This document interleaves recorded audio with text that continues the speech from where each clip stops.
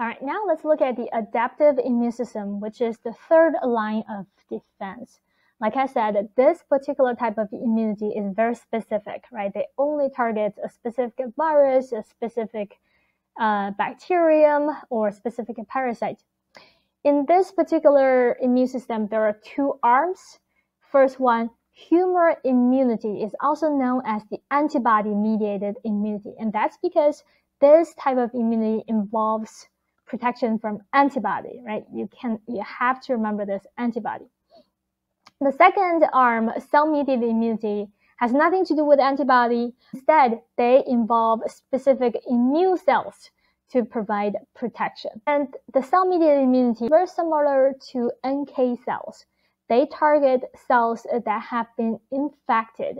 Could be a virus, could be a parasite. And that's because the viruses or the parasites live inside the cells, right? So the antibody or phagocytes have um, they can't do anything about it. They, that's not their specialty. So you need a kind of different type of uh, defense to try to uh, fight the cells that have been infected. So that's going to be the cell-mediated immunity. And this type of immunity can also protect us from cancer cells. So they can try to um, kill cancer cells so that you don't have um, proliferation of cancer cells in your body, which leads to cancer. This type of immunity also targets foreign cells, such as grafts. So grafts are just kind of transplanted tissues. So when you receive a transplant, the tissues, the cells from another person will be considered foreign, right? Because they're not from your own body. And they can also be the target of cell-mediated immunity. Okay, I want to introduce a couple of terms. You may have known these very well, but just in case, first one is antigen. So antigens are substances that can stimulate our adaptive defenses. So they're um, pretty much just targets of all adaptive immune responses. So antigens could be, you know, a whole bacteria cell or could be some of the, the protein structures on the surface of the virus. So anything that can kind of mobilize the adaptive defense can be considered an antigen.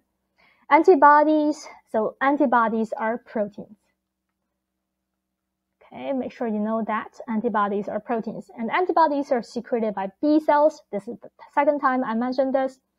Um, so the antibodies combined antigens. So these antibodies uh, have a really kind of specific relationship with the antigens.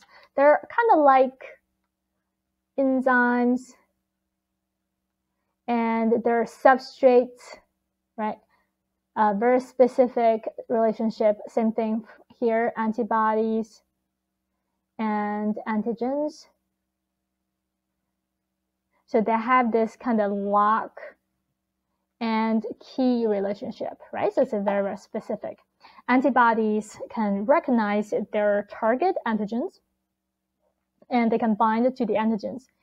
And this will uh, lead to some of the other processes um, that can kind of either neutralize uh, or destroy the antigens. So this is a, a, very good diagram to kind of show you how antibody is produced right, when you look at the humoral immunity. So we can see uh, over here, this is antigen, and now you know what antigens are anything that can trigger our immune response. So let's say these are some bacteria cells, they're antigens, and the antigens are going to be kind of bound to the receptors on the surface of B cells. All right, now this is going to trigger formation of clones. Okay, so you can see there are two kind of different directions here, right? Some of the clones will develop into plasma cells. Now this is very important. You absolutely have to know what plasma cells are. So plasma cells are uh, one kind of strain of B cell clones that will secrete antibodies. Okay, so the plasma cells are actually the specific B cells that secrete antibodies. So anti body production. So that's why the plasma cells are very important. Make sure you know plasma cells. All right. Now, the other kind of branch will develop into a different kind of clone cells, which are called memory B cells. So these memory cell, B, memory B cells, they do not uh, directly secrete or produce antibodies, but instead they maintain that memory of what the antigen is like. And if you are exposed to that antigen again, then this memory B cells can respond really, really quickly. Um, they can develop into plasma cells, which will make the antibodies. But again, remember the, the memory cell, because of the memory cells, the response from the B cells to make antibodies is going to be is going to be much much quicker than the first time around.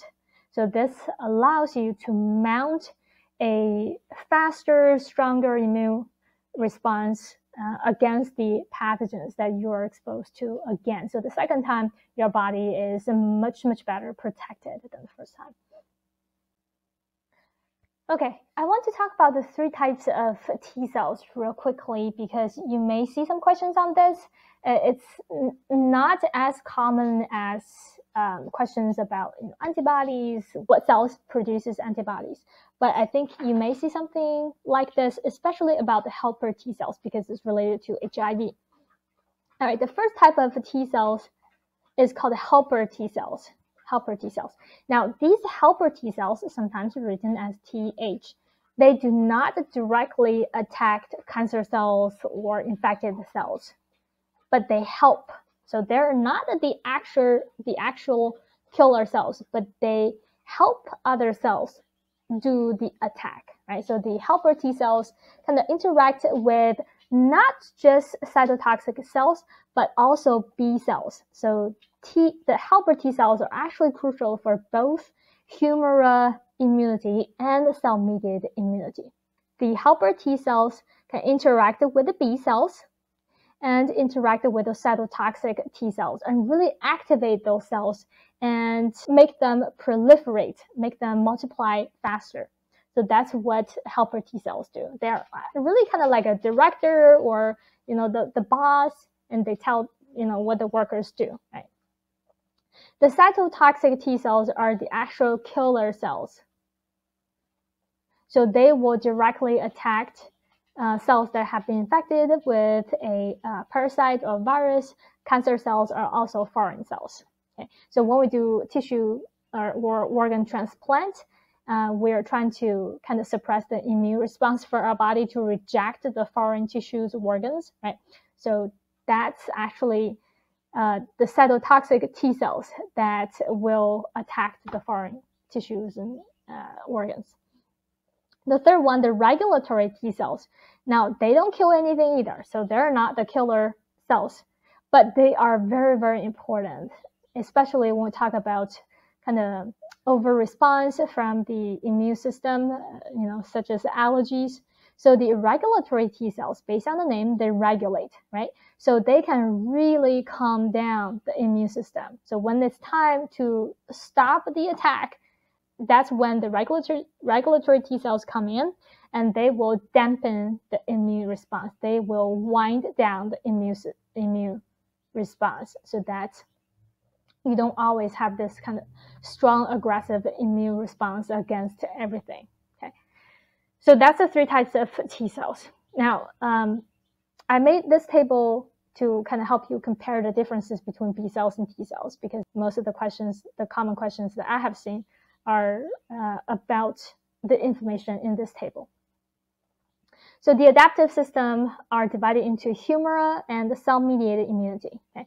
So again, remember the B cells are involved in the humoral immunity, while T cells are involved in the cell-mediated immunity. And in cell-mediated immunity, there's no antibody, no antibody. Uh, instead, the cells would directly attack the targets. So for B cells, for uh, humoral immunity, the targets are really extracellular pathogens. So what is extracellular? I think we mentioned this before, but I don't know if you remember. Extra, do you know what cellular means, right? Something about referring to the cell. So extracellular means things that outside the cell. So if these are the cells, uh, the space outside the cells, you know, between these cells, that's considered extracellular. So for example, we talk about extracellular fluid, right? So that refers to the fluid that's outside the cells. Okay? So the extracellular pathogens could be, you know, bacteria cells, right? That are outside the cells. So those are going to be the target for antibodies. Now the T cells, oh, there's a C missing. The T cells, remember, attack cells that have been affected, right? The sick cells. And the goal is to kind of clear out those sick cells so that there's no uh, ground for the parasites or viruses to multiply. Right? They can also attack cancer cells. In fact, there are some um, uh, new treatments, new cancer treatment being developed utilizing T cells to uh, elim eliminate cancer cells. Foreign grafts, we know about that, the transplant tissues, organs. Site of origin, both T cells and the B cells originate from the red bone marrow. Remember, bone marrow is the site for blood cell production, right? And that includes all the leukocytes. Um, so B lymphocytes, T lymphocytes, they are produced in the red bone marrow.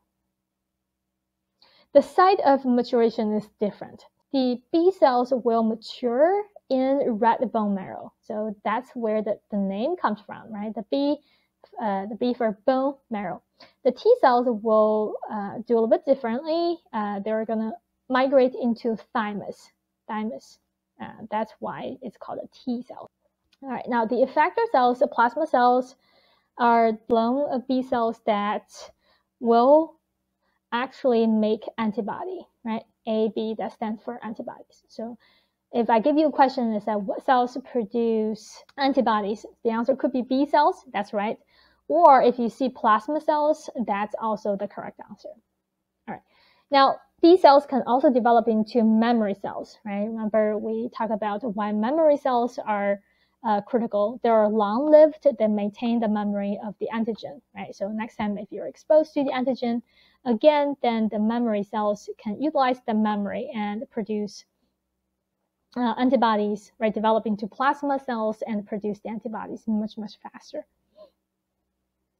The effector cells for T cells are these three different types of T cells, right? And we talk about the different functions for each cell.